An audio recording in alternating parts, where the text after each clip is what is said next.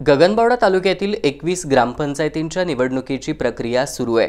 ग्रामपंचायतींच्या सरपंच पदासाठी एक्क्याऐंशी तर सदस्य पदासाठी तीनशे असे तीनशे एक्क्याऐंशी उमेदवारी अर्ज दाखल झालेत.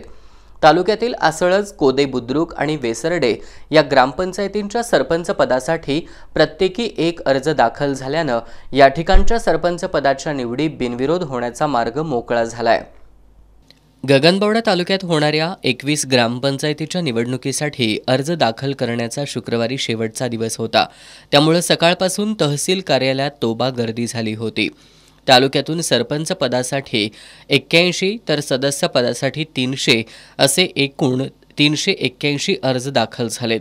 तालुक्यातील असळज कोदे बुद्रुक आणि वेसरडे या ग्रामपंचायतीच्या सरपंच पदासाठी प्रत्येकी एकच अर्ज दाखल झाल्यानं या गावांची सरपंच निवड बिनविरोध होण्याचा मार्ग मोकळा झाला आहे मार्गेवाडी कोदे बुद्रुक आणि साळवन या ग्रामपंचायतीच्या सदस्यपदाच्या जागांएवढे अर्ज दाखल झाल्यानं या ग्रामपंचायतीच्या सदस्यपदाच्या निवडी बिनविरोध होणार आहेत.